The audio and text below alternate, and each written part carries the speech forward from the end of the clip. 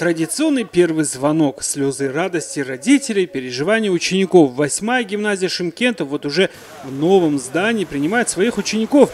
Обучать здесь будут по новому формату. Например, физики обучают на английском. Virtually uh, participate uh, and uh, visit these countries. Больше двух тысяч мест. Новое здание. После ремонта восьмая гимназия стала не только краше, но и комфортнее. Директор школы обещает следовать традициям и воспитывать побольше медалистов. Гимназии есть чем гордиться. Ни один год не заканчивается без отличников.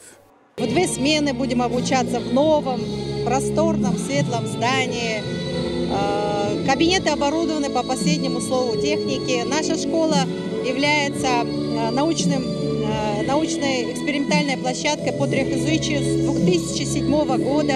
В городском управлении образования уверяют школьников Шимкента есть чем занять. В городских школах создают все условия для обучения. Познать можно разные науки и даже в самом юном возрасте.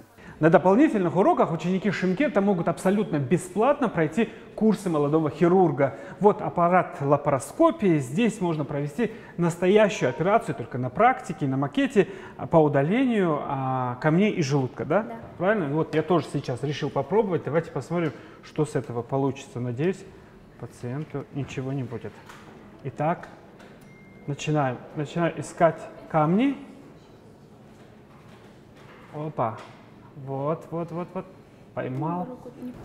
О, удалил. Удалил.